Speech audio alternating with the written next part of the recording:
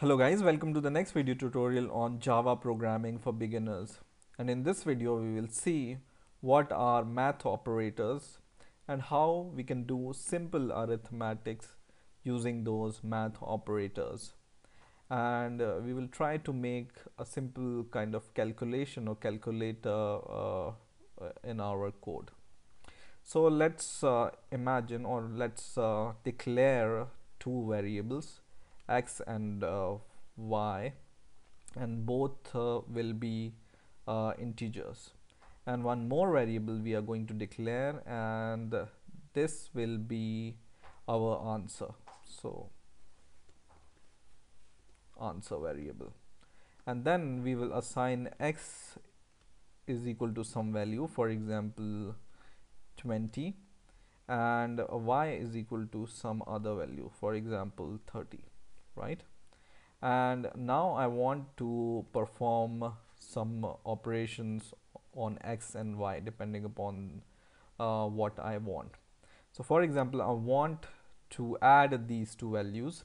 I can add these two values and store the result in the third uh, variable which is also an integer like this.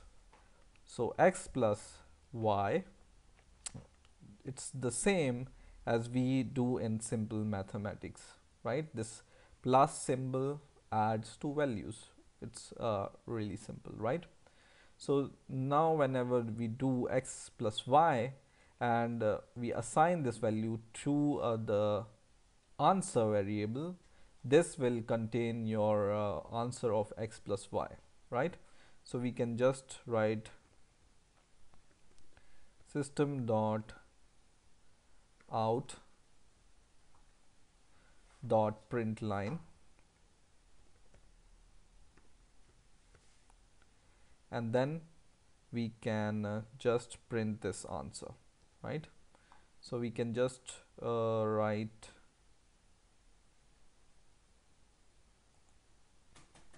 answer is equal to so in double quotes we will say answer is equal to and then there comes a operator called concatenation operator. When you use this plus in uh, in uh, your print uh, function then this plus is called the concatenation operator. And this concatenation means uh, that you want to add this string and uh, this uh, variable or value. Okay so this function is intelligent enough to uh, you know sense that this is a string and this is your integer but uh, using this concatenation operator you can you know print them as a single line. So let's try and uh, run this program. Okay.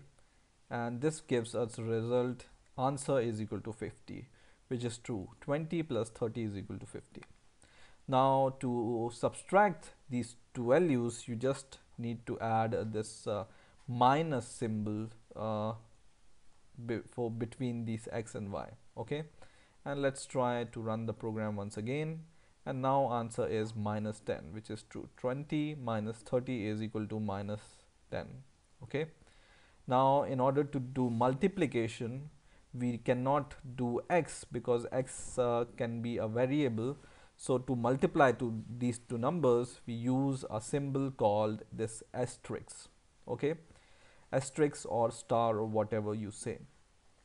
And this asterisk uh, multiply the values uh, which are, uh, you know, we want to multiply, okay? And once we run the program and it gives the answer 600, which is true. 20 into 30 is 600 now division uh, is little bit uh, not tricky but interesting. So when you want to divide two values, for example, I will divide these two values, you will expect some decimal values as an answer, right? But let's uh, try to uh, get the answer. And answer is 0 in this case because we have declared all these uh, values as an integer. Okay? So answer is also a, an integer a variable and x and y are also integer values right? And whenever we divide two values uh, the answer will be integer.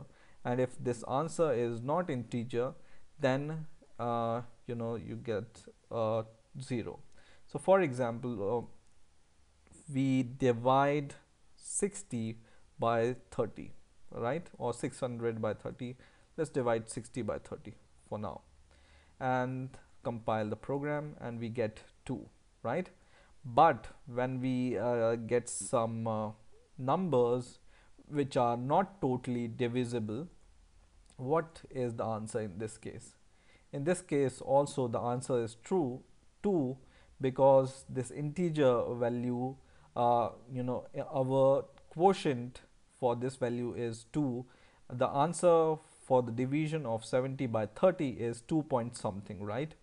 But because this answer and these two are integer we will only get the integer value out of uh, uh, this point value and we will not get whole uh, division value which is 2 point something. But to get this uh, decimal value as an answer you can declare your uh, variables as double. So when you do something like this see what's the answer. Now the answer is 2.33 and this is uh, the exact answer what we were expecting right?